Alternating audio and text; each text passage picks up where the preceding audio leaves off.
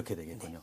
이제 어른들 같은 경우에 뭐 이렇게 비염이 있으신 분들 늘 피곤하다 이런 것도 많이 느끼시는데 특히 제가 걱정이 되는 건 아이들 그 경우 네. 뭐 학습 장애라든지 성장 장애까지 연결된다고 하니까 부모님들께서도 걱정이 이만저만이 아닐까 이런 생각이 들어가거든요. 예. 요즘 상당히 그런 아이들이 많죠. 예. 많아서 그 비염 때문에 상당히 고생도 많이 하는데 특히 이제 그 비염이 오래되다 보면은 뭐 축농증, 뭐 코골이도 생길 수 있고 예, 예. 그 요 후각 기능 상비갑계가 막 조- 조순이 안 되면 후각 기능이 들어서 냄새를 못 맡는 아하. 사람도 있고요. 그다음에 이거의 천식이라든가 유류염. 그다음에 요 코가 어린 아이들 같은 경우는 이 유스타키오관하고 코의 라인이 일자선이라서 잘 감염이 됩니다. 중염도 됩니다. 아 귀로 연결이 돼 있죠? 예. 예, 근데 예. 어른은 이렇게 위로 올라가 있는데 얘는 아하, 이렇게, 이렇게 돼 있기 때문에 예, 예. 아주 중염도 많이 생기고요. 그다음에 이런 것들 때문에 뭐 다크서클이라든가 예. 안구건조증, 뭐 안, 그다음에 안구충혈도 생기고요. 수면증 무호흡 증상도 생깁니다. 예, 예. 그다음에 이런 이런 상황 때문에 아이들은 성장 장애가 생기고요.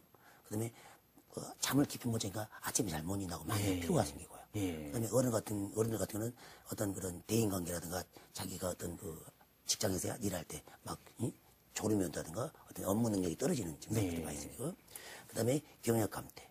그다음에 아이들 같은 경우는 아까쯤에 그 코가 막히다 보니까 코를 우- 움직이게 되고 예, 틱장애처럼 예, 예. 것처럼 그것이 완전히 틱장으로 고정되는 아이들도 있고요. 아하. 그래서 집중력자라든가 ADHD 네. 그다음에 그, 그 중농증으로 변하다든가 뇌열이 차면서 학습 장애가 생길 수 있고. 네, 네. 그다음에 아주 중요한 것은 아이들의 발달 과정에서 구강호흡이 중요합니다. 예. 코가 막히다 보면 입을 벌리고 잔다는 거죠.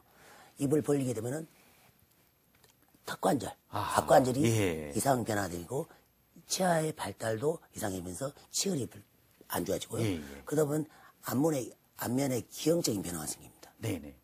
이 그림에서 보시다시피 아이들이 입을 벌리고 자게 되고 또 이런 것들이 결국은 벌어진 입, 뭐 좁은 콧대, 짧은 입술 이렇게 안면의 비대칭, 턱관절 이상 이런 것들이 진행되는 것이 요즘 상당히 아이들한테 많이 있는 아. 상황입니다. 그렇게 되겠군요. 네. 아이들 특히 이제 중이염 같은 걸 그대로 방치하면 어른이 돼서도 계속 아플 수 있다고 하니까 네.